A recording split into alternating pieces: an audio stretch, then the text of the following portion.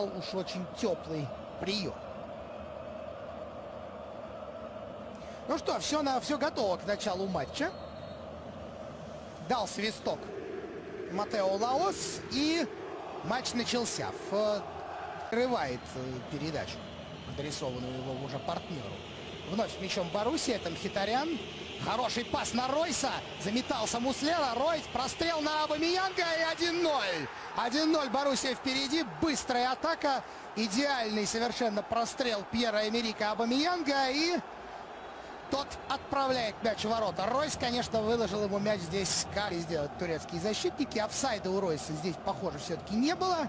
Пас Мхитаряна. И вдвоем они с Абамиянгом ускользают от обороны. Не успевает ни Шеджу, не Семих Кая. Конечно, вот этот пас э, Хитаряна был ключевым, но уж больно легко дали дортмундцам разыграть мяч сейчас игроки Галатасарая. Вот, собственно, главная проблема турецкого клуба. Нехватка баланса в игре, нехватка надежности.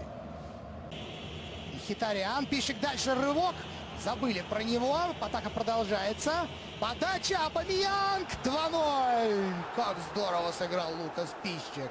И Абамиянг вновь не прощает. Вторым флангом атака Боруссии. Второй мяч влетает в ворота Галатасарая к дикому разочарованию Чезаре Пранделли. Абамиянга. Смотрите, вот оно решающее подключение Пищика. Опять, смотрите, всего два защитника в штрафной. Как легко Абамиянг ускользает от Шиджу. Ну и, конечно, Пищик. Идеальный пас. Но почему так мало защитников? всего лишь один пас отрезал, по сути, весь Галатасарай от э, рабочих мест.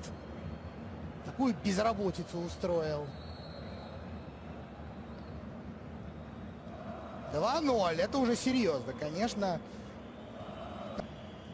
То есть не на предельных скоростях Баруси играет далеко. Кагалан. Верходай сама сейчас не, не в идеальной форме находится. Не стоит быть. Руайс, может быть, удар. Да, вот он! Ох ты!